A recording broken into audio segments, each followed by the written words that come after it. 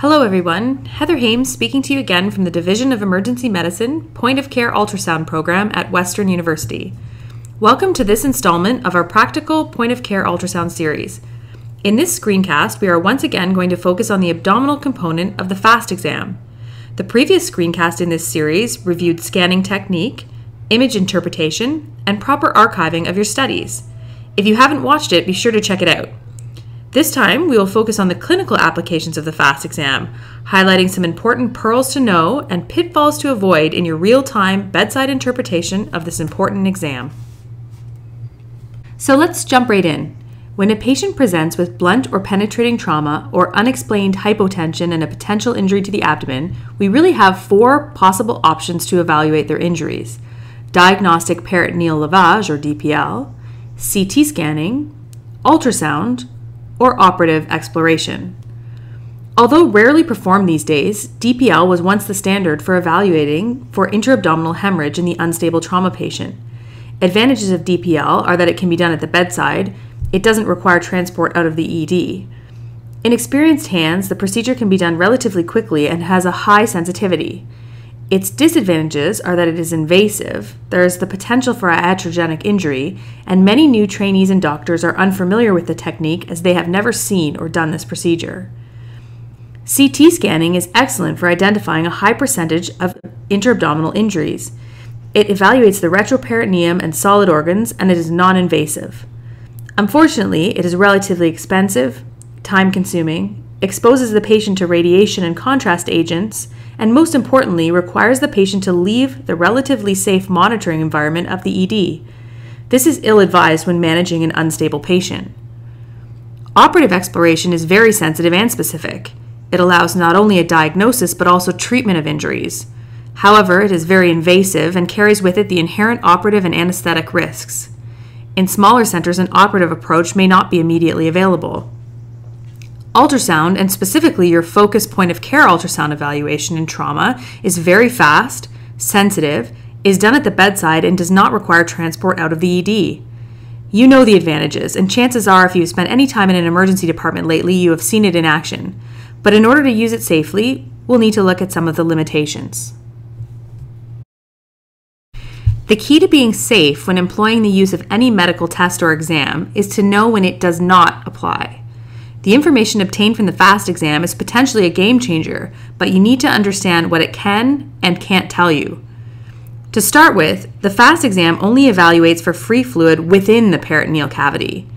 It does not evaluate the solid organs, bowel, or diaphragm. Instead, it is a test for the presence of intra-abdominal hemorrhage resulting from injuries to these structures. As we saw in the previous slide, the confirmation or ruling out of specific injuries requires another test, most often a CT scan or an exploration by a surgeon. It is also important to realize that about 200 cc's is needed to begin to obtain a positive FAST. Some traumatic injuries that may be very clinically relevant, such as a bowel perforation or a diaphragmatic rupture, do not produce a lot of bleeding, and if they occur in isolation, they may present with a negative FAST exam. As you recall from the previous screencast, there are three possible outcomes for the FAST exam positive if free fluid is seen, negative if all views are adequately seen and no free fluid is present, or indeterminate. An indeterminate scan is one in which no call can be made, and you must proceed with your management of the patient as if the scan was not done. If one cannot adequately see one or more of the three required views of the FAST exam, the scan is indeterminate. Obesity, significant bowel gas, or subcutaneous air can make images more difficult to obtain and therefore increase the chances of an indeterminate scan. Let's explore potential false negatives with the FAST exam. This is a dangerous scenario when the scan is declared determinate, meaning you've seen enough to make a call, and negative, meaning the call is no free fluid, when there is in fact free fluid present. This may lead to serious consequences for your patients. The goal for the safe practice of bedside ultrasound in trauma is to eliminate false negative results. A false negative result can occur in one of two broad categories. The first is where the ultrasound images are correctly interpreted as negative, but for clinical reasons, the bedside ultrasound may simply not be reliable enough to exclude free fluid. The second occurs when the ultrasound image does in fact show free fluid, but the image is interpreted by the practitioner incorrectly as being negative. Let's take a look at some clinical scenarios where the FAST exam itself may not be completely reliable first. You may remember this slide from the previous screencast in this series. When blood is introduced to the peritoneal cavity, it accumulates in the most dependent areas, and that is where we look for it. If there is a very small amount of bleeding, or if it is very early after the bleeding has started, there may not be enough blood yet accumulated, and the initial fast may be negative. In the resuscitation of an unstable trauma patient, if the initial fast is negative, it is typically repeated several times in order to avoid this potential pitfall. Similarly, placing the patient in Trendelenburg positioning will increase the fluid accumulation in the upper quadrants and will make a smaller or earlier bleed more easily seen. You may also recall that normally free fluid in the peritoneal cavity will flow in the dependent portions of the abdomen in the relatively unobstructed right and left pericolic gutters, roughly outlined here. Abdominal adhesions from pre- previous surgeries or infections may obstruct or reroute the flow of free fluid, therefore causing it to accumulate in an atypical place or in a loculated manner. Be very cautious interpreting a negative FAST exam in a patient with multiple abdominal scars. A positive study is still a positive and should be acted on, but in the presence of midline scars, the absence of visualized free fluid can only be interpreted as indeterminate at best. So let's now turn our attention to the second category of false negatives errors in image interpretation. We have previously mentioned how early bleeds could be missed by POCUS owing to the lack of time for fluid to accumulate. Ironically, the opposite end of the time spectrum may also lead to false negatives. As blood pools and clots after time, it may no longer be anechoic, as we expect, but may instead be more of an isoechoic density, and this can be easily overlooked. This image is obviously of a heart, but illustrates the same principle. This patient sustained penetrating trauma to the chest. This was an acute presentation, but some of the blood had already pooled and clotted, and instead of appearing anechoic, appears almost hyperechoic. To review, the heart is seen here, the newer free flowing blood is seen here, and this large hyperechoic area is all representative of clot. Let's have a look at the video again.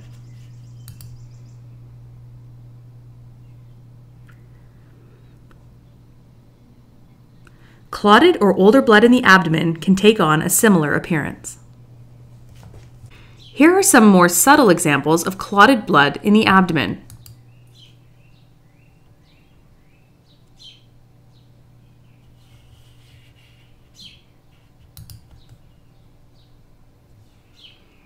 As you can see in these clips, anechoic blood is clearly visible. However, you can begin to appreciate a more isoechoic density to the fluid in the right upper quadrant and in the pelvis. These clips were taken several hours after the patient's acute presentation to the ED, and some of the blood had already pooled and clotted, and instead of appearing anechoic, appeared almost hyperechoic, most strikingly in the pelvis. Very subtle bleeding may be missed if one is not diligent in performing the FAST exam in a methodical manner. It bears repeating that once the area of interest is identified, your hand is planted and a very slow sweep performed, looking carefully for what may only be a small amount of free fluid.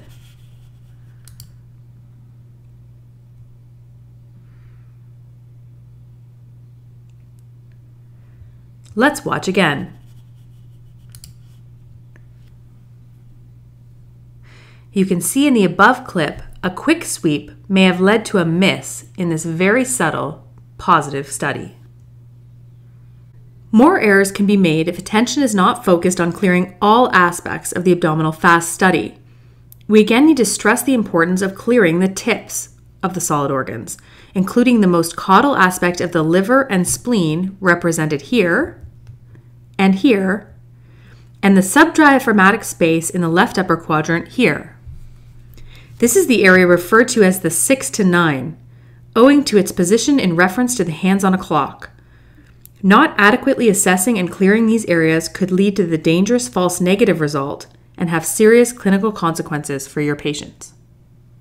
So let's recap some of the potential false negatives you must guard against when performing fast examinations. First, that there is not enough blood to be detected with point of care ultrasound. There may be less than roughly 200 cc's, and therefore free fluid may be missed in your study. Adding the pelvic views will improve your chances of avoiding this error. Adhesions. Adhesions have blocked the free flow of fluid and therefore it is not accumulating where we expect to see it in the three views used in the FAST exam. Thirdly, the blood is clotted and is no longer anechoic. And last, failure to clear the tips, scanning only the interface and missing free fluid around the caudal tip of the liver or the spleen, or at the so called 6 to 9 view of the left upper quadrant. Let's now turn our attention to sources of false positives in the FAST exam. In the setting of trauma, a false positive occurs when your interpretation is positive for free fluid and therefore presumed hemoperitoneum, when in fact there is no blood in the peritoneal cavity. In general, this error is a relatively safe error in that by definition it will presumably lead to consultation or further investigation rather than potentially missing an injury as demonstrated in our false negatives.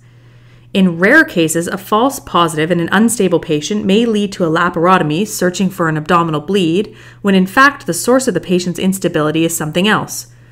Obviously, this may lead to a negative laparotomy and delay to appropriate treatment. As such, it is important to familiarize yourself with sources of false positive studies. Once again, sources of false positives can largely be divided into two categories clinical scenarios where the scan is correctly interpreted as positive, but the fluid you are seeing is not blood, and image interpretation scenarios where what you are seeing is not fluid at all, but artifact. Several clinical confounders can lead to a false positive FAST study. The exact nature of free fluid cannot be determined with our ultrasound exam. As such, all of these non traumatic sources of fluid, ascites, peritoneal dialysate, ruptured ovarian cyst, physiologic fluid in females, and CSF fluid in those with VP shunts are all indistinguishable from blood. There may be information on history, patient presentation, or previous imaging that will identify these patients, but it bears mentioning that in the setting of trauma, the pre existing presence of an intra-abdominal source of fluid does not rule out a coexisting hemoperitoneum. Unfortunately, there is no way to rule this out by ultrasound. Of course, in trauma scenarios, the fluid found may not be blood, but may still signify important traumatic injuries, as in the case of intraperitoneal bladder rupture and spillage of fluid from a bowel injury. So, technically, these are false positive for hemoperitoneum, but certainly important to investigate nonetheless. Furthermore, female patients of reproductive age may have a small amount of physiologic fluid in the pelvis. As a general rule, pelvic free fluid is deemed abnormal when it extends more than 50% along the uterine wall in the posterior cul de sac or when it is detected anterior to the uterus in the uterovesicular space. Our next sources of false positive stem from errors in image interpretation. Here, we will start with an example where free fluid is present, but it is not in the peritoneal cavity. Although we were properly focused on the hepatorenal interface between the liver and kidney, our eyes may be drawn to the fluid, leading to a momentary lapse where we forget we are no longer looking at our area of interest. Here, fluid is seen in the pleural space and not our abdominal interface. This is clearly demonstrated by seeing its position relative to the diaphragm. In the proper setting, this may be a pleural effusion, empyema, chylothorax, or a hemothorax. This is a still of the left upper quadrant. The kidney is not well seen here. The spleen is seen here, and the diaphragm is seen here. While we are usually only able to obtain the 6 to 9 view of the diaphragm, in this case its bright white echogenic line is seen well where it abuts against the large left pleural effusion. Interestingly, in this case, there is both a pleural effusion and intra-abdominal free fluid seen below the diaphragm here. This next clip represents another potential source of false positives, the double line sign. As you can see in this right upper quadrant sweep, there is a subtle anechoic stripe just at the very place we are training our eyes to see anechoic free fluid. The difference here is the dark stripe you are seeing is framed with a bright white line on either side. This is known as the double line sign and represents paranephric fat. One of the bright lines is caused by the outer kidney, and one by the outer edge of the perinephric fat. Here is a still image of the double line sign. See how the small anechoic stripe may be confused with free fluid and is encased with white on either side. This is the false positive. True free fluid tracks right along the liver edge and highlights the solid organ on a black background with no white line. You can see here in this example of a true positive. There is a bright echogenic line along the kidney, but along the liver, the fluid directly abuts the liver edge and is not encased with a second white line. Another false positive can be seen with refraction or edge artifact. When the ultrasound beam crosses the boundary of tissues with different propagation speeds at an oblique angle, or when it strikes a curved structure, the beam direction changes and a shadow results. This is the same artifact that can be seen in other areas of point of care ultrasound. Here's an example of edge artifact on an abdominal aorta study. Here is an example of edge artifact in the right upper quadrant. Sometimes the edge artifact can line up very closely with the interface, the very part where we are looking at, for an anechoic line. This can be very tricky to distinguish from free fluid. You can see in this example that the artifact is not quite as dark or anechoic as true free fluid, which may be a clue. A second clue is the extension below the diaphragm as is also seen here and would not be seen in this manner with free intraperitoneal fluid. Lastly, a clue may be that this artifact is only seen to line up well with the interface in one view. Scanning in a slightly different plane or from a different rib space may cause artifact to disappear, which would not happen with true free fluid if you are doing complete sweeps. Still, this is an artifact that has fooled many before you and often takes some experience to identify. If you're unsure, it's better to err on the side of caution and obtain another form of imaging to rule out free fluid. One may at times mistake a stomach full of food or fluid for free fluid or abnormal splenic architecture in the left upper quadrant. To avoid this pitfall, ensure that the image plane is not too far anterior or medial so that the stomach does not obscure the left sided structures. Stomach is often found in the far field in relation to the spleen and anterior and medial to the kidney. Fluid seen in the stomach will be encased by the walls and rugae are often visible. In addition, fluid in the stomach will not track into the crevices surrounding the spleen. So let's review the false positive. The fluid is not blood and is actually ascites, peritoneal dialysate, or several other sources previously reviewed. The fluid is above the diaphragm and is instead a pleural effusion. There is no free fluid, and what you are seeing is the double line sign, representative of perinephric fat. You are in fact seeing edge artifact. You are mistaking stomach for free fluid in the left upper quadrant. The following algorithm provides a framework for the clinical use of point of care ultrasound in trauma. As always, there is no replacement for sound clinical judgment. If the scan is positive and the patient is unstable, this is an indication for immediate laparotomy. If the scan is positive and the patient is stable, most patients will go to the CT scanner to better delineate their exact injuries and plan operative management as indicated. If the scan is negative and the patient is stable, next management steps depend on the clinical presentation and could include observation, repeat point of care ultrasound, or other specific imaging as indicated. If the scan is negative and the patient is unstable, it is important to consider and rule out other causes of hypotension. In these cases, the FAST exam is often repeated. And lastly, if the scan is indeterminate, you have to proceed clinically how you would if no ultrasound was available at all. Alternate imaging, investigation, or operative management may be required depending on the case. Thanks for watching this installment of the Point of Care Ultrasound series on the abdominal component of the FAST exam, pearls, pitfalls, and clinical algorithms. Please check out the other tutorials in this series available at westernsono.ca.